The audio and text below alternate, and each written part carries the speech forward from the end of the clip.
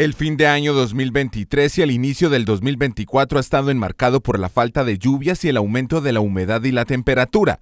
Se evidencia con el poco caudal de los ríos, la presencia de nubes, mayores vientos. Es muy probable que todos hayan llegado a sentir mayores sensaciones de calor. Analicemos cuáles pueden ser las consecuencias del cambio en el clima. Bueno, en este momento estamos en el país atravesando por la temporada de menos lluvias o temporadas secas, más conocido pues como el fenómeno natural del niño, el cual empezó a mediados del mes de diciembre y se prolonga más o menos hasta el mes de enero, febrero, marzo, eh, más o menos a finales de este mes.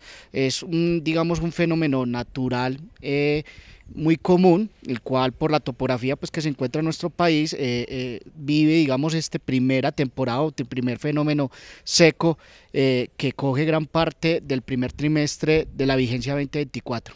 Si bien los pronósticos meteorológicos muestran cifras que van desde los 11 grados cuando es más baja la temperatura hasta 26 grados como puede darse por la mitad del mes de enero, este reloj digital de temperatura muestra incrementos en el ambiente hasta de 28 grados centígrados aproximadamente.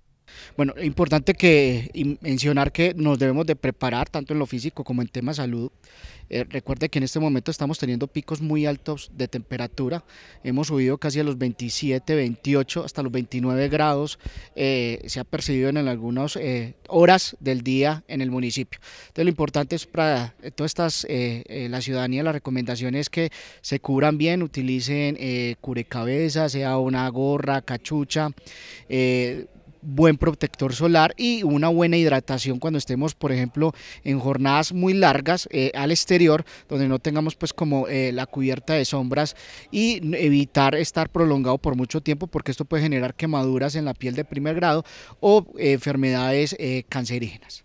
Importante tomar medidas para evitar daños en la piel, utilizar antisolar, gorra, sombrilla. Probablemente puede presentarse una deshidratación si estamos durante varias horas al sol Vital en este caso consumir mucho líquido, como medidas para minimizar los riesgos de incendios forestales, evitar arrojar vidrios, plásticos, colillas de cigarrillo, evitar al máximo quemas agrícolas.